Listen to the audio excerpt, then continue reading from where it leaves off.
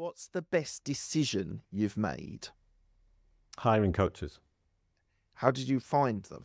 I met Mads initially at a at an event, and I started talking to him, and he seemed to me to be somebody who was talking a lot of sense. So I started working with him.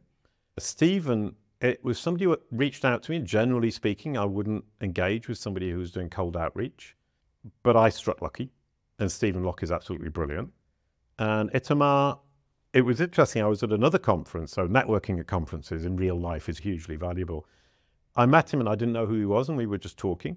And he seemed to me to be like Mads, incredibly insightful on a different from a different approach, the psychological approach. And it turns out he was a speaker at the event. The interesting thing is I've invested $30,000 in my own education just in how to be a better CEO with these three people.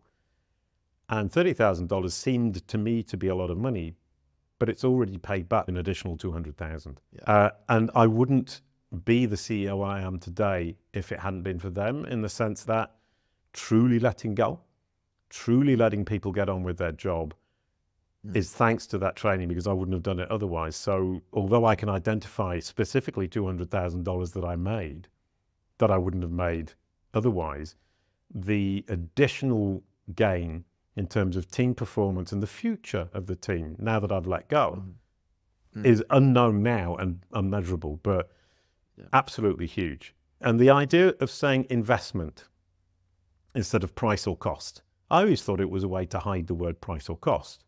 Now I realize investment is when you pay an amount of money in order to generate a bigger amount of money.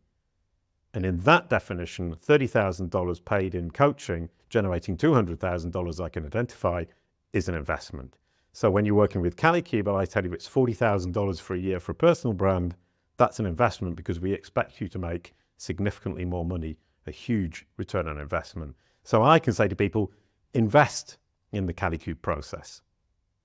And I can say it with meaning because I now understand. I've walked the walk and I know what it means.